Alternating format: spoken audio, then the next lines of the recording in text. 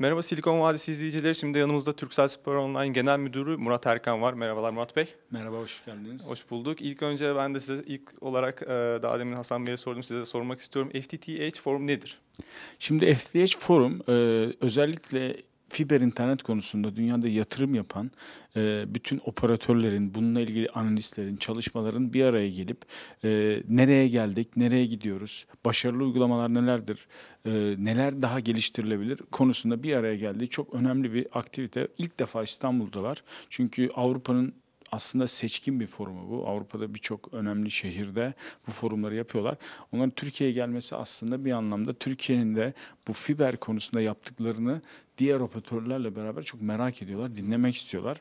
Bu bizim için de büyük bir fırsat. Biz yaklaşık 4 yıldır bu forumlara, konseye çok yoğun katılıyoruz. Buradan çok ciddi kendimize çıkarımlar yapıyoruz ee, ve işimizi daha iyi yapmak adına çok iyi konsantre oluyoruz. Çok faydalı buluyorum. İstanbul'a gelmede de büyük bir keyif tabii bizim için. Turkcell Süper Online aynı zamanda ana partnerlerinden biri bu fo- forumun. Evet, İstanbul'daki forumun önemli e, stratejik e, ortaklarındanız. Peki e, forum nasıl geçiyor? Yani neler umuluyor bugün? Neyin gerçekleştirilmesi be- bekleniyor? Şimdi bugün baktığınız zaman forumda çok dünyanın dört bir yanından konuşmacı var. Bugün Google'ın Kansas City- City'de yaptığı evlere kadar 1000 megabit fiber internet konusunda Kansas City'de e, o yönetimde bulunan yerel yönetimde bu konuda e, yönetici olan bir e, konuşmacı bugün bu konuyu anlatıyor. O de- değişik firmalar kendi yaptıklarını anlatıyorlar. E, e, biz de bugün bu konuda bir konuşma yaptık. Bu konuda üretim sağlayan üretici firmalar da dünya nereye gidiyor, ne tür gelişmeler bekliyor, yeni nesil şebekeler nasıl olacak konusunda gene operatörleri ve kendi bu işle ilgili insanları bilgilendiriyorlar. Peki özellikle Turkcell Süper Online konusunda sormak gerekirse Turkcell Süper Online'ın ileriki dönemdeki hedefi nedir? Fiber altyapıyı e, ilerletme açısından ne gibi durumlardasınız şu an? Şimdi bugün baktığınız zaman biz yaklaşık 4 yıl önce Türkiye'yi fiberle tanıştırma, fiber internetle tanıştırma konusunda çok yoğun bir yatırım programına başladık. Bu 4 yılda biz 1.6 milyar lira yatırım yaptık ve Türkiye'de bugün itibariyle 12 şehre eve kadar fiber şebekesi götürdük. Toplamda 31 bin kilometreyle de şebekeyi 75 ile değdirdik. O illerdeki altyapıları da bu arada topluyoruz.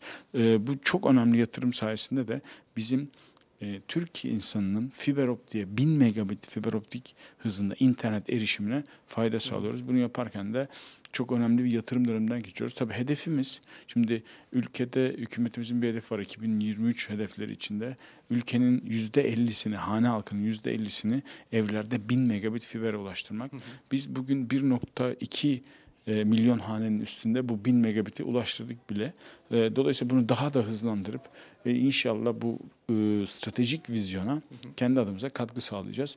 Bu da tabii otomatik olarak Türk halkının da e, teknolojiye ve internet erişiminde, internet dışı katma değerli hizmetleri faydalan, e, kullanmasında çok fa- ciddi faydalar sağlayacak. Aslında şu anda fiyatlara da baktığımızda ADSL fiyatlarıyla çok da hani yukarı bir fiyatlarda değil. Hemen hemen ortalama aynı fiyatlarda gözüküyor. Fakat kullanıcılarımızdan ve izleyicilerimizden de bize gelen sorulardan bazıları şu. Hani Süper Online'ı arıyoruz. Ee, bizim bölgemizde fiber internet olup olmadığı ilk başta kontrol ediliyor diyorlar. Fakat daha sonra ne kadar süre içerisinde bizim hanemize veya bölgemize internetin geleceğini bilmiyorlar. Özellikle İstanbul içerisinde ve büyük şehirlerde bile daha yaygınlaşmış değil. Bunu ne zaman oturacağını tam düşünüyorsunuz? Şimdi baktığınız zaman aslında yaygınlık anlamında biz e, İstanbul'da çok ciddi altyapı yatırımları yapıyoruz ama bu tamamen yerel yönetimlerin de vizyonuyla ilgili bir şey. Yerel yönetimlerin de burada bu tür teknolojilere hevesli ve açık olmaları da çok önemli. Ben daha önceki konuşmalarımda hep söylüyordum işte ben Kadıköy'de oturuyorum. Kadıköy'de kendi yani 31 bin kilometre fiber optik döşedik. 1.6 milyar lira yatırım yaptık fibere bak kendi evimize bile gidemedik diye. Ama e, bu tabii bu söylediklerimiz de zaman içinde bütün herkes tarafından kabul ediliyor. Kadıköy Belediyesi'nin de olumlu yaklaşımı sayesinde bütün Kadıköy'e şu anda çok yoğun bir şekilde altyapı götürüyoruz. Bir örnek vermek gerekirse. Diğer İstanbul ilçeleri de aynı şekilde.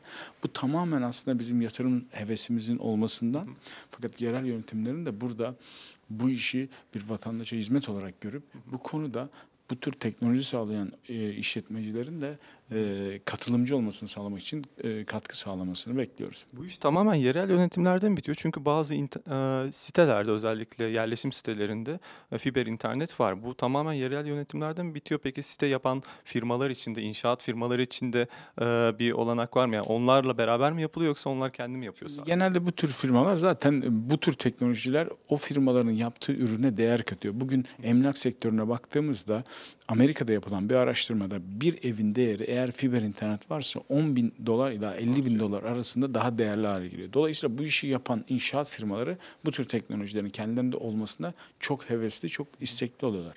Büyük oranda. Yüzde yüz demesek de büyük oranda.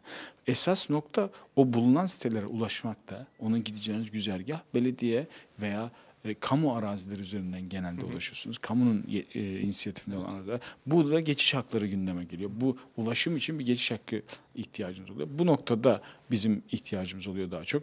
Bazen tekil evler de oluyor. İşte bugün Kadıköy dedik. Kadıköy'de site çok az sayıda site var. Genellikle tekil binalardan oluşan bir Oluyor mu o konuda? Tabii tabii kesinlikle öyle. Biz de orada altyapımızı bireysel olarak evlere ulaştırıyoruz. Ama dediğim gibi buna ulaşması için yerel yönetimlerin bu konudaki vizyonu ve istekliliği, hevesi çok önemli. Onlara da fayda sağlayan bir şey bu arada. Çok teşekkür ederiz Murat Bey. Röportajımıza katıldığınız için memnun oldum.